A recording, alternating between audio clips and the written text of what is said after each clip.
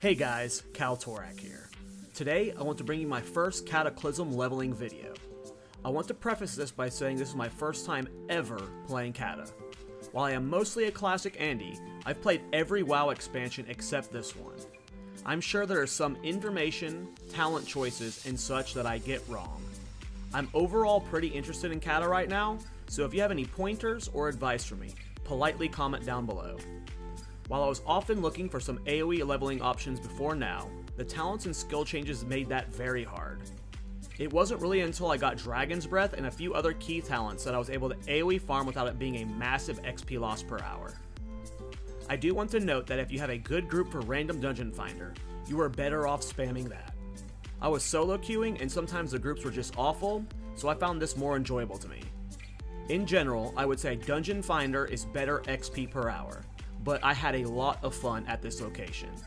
At worst, you can use this spot to farm between long dungeon queues. You can do this farm from levels 50 to 55.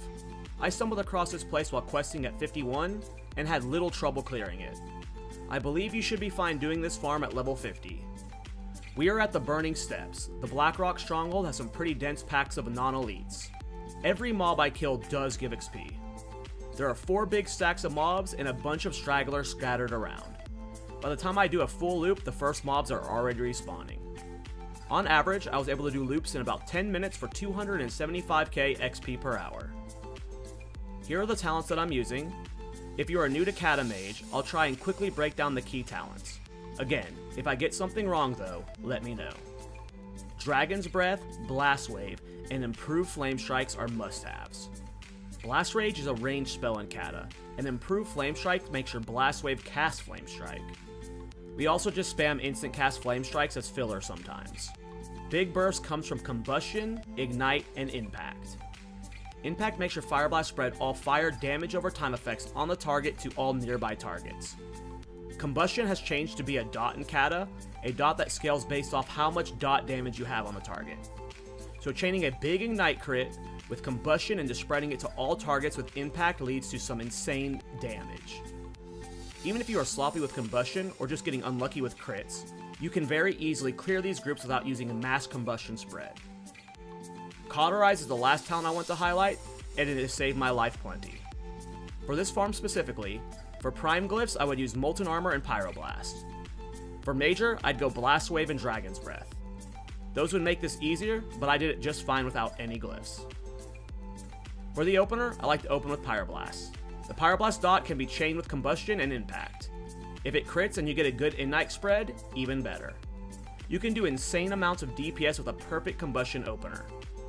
After my Pyroblast, I like to get an instant cast Flame Strike off.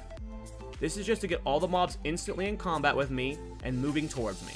If the mobs end up spread out into separate groups, it becomes harder to stack them with Dragon's Breath. Let the mobs get close to you and then hit them with a big DB. Weave in Nova, Blast Wave, and Cone of Cold to keep the mobs slow and away from you. Spam instant cast Flame Strikes as fillers. This is for impact procs, as well as trying to get Ignite crits to spread. Use Ice Block if things get hairy, and don't be afraid to blink to create some distance. Remember, Cauterize is pretty nuts and can save your life.